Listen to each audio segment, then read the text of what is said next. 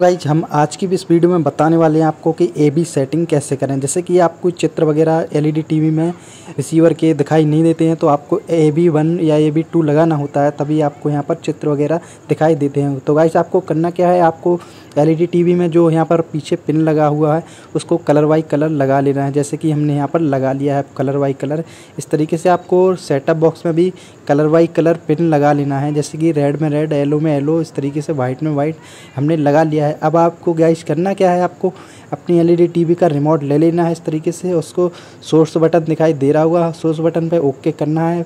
और आपको यहाँ पर साइड में इस तरीके से ये भी लिखा हुआ आ रहा होगा। आपको यहाँ से रिमोट में साइड में करके यहाँ पर ओके दिखाई दे रहा होगा बीच वाला ऑप्शन तो यहाँ पर आपको ओके कर देना है। इस तरीके से आपको ओके करेंगे तो यहाँ पर आपका ये भी लग जाएगा गाइस तो यहाँ पर आपके जो चित्र वगैरह हैं, यहाँ पर दिखाई देने लगेंगे, जैसे कि आपको यहाँ पर टीवी में। गाइस वीडियो पसंद आया हो तो वीडियो को लाइक करें और शेयर करें और हमारे चैनल को फॉलो करें ऐसे ही नए नए वीडियो देखने के लिए। गाइस अगर कोई समस्या आती है तो मुझे कमेंट बॉक्स में कमेंट करके ज़रूर बताएँ।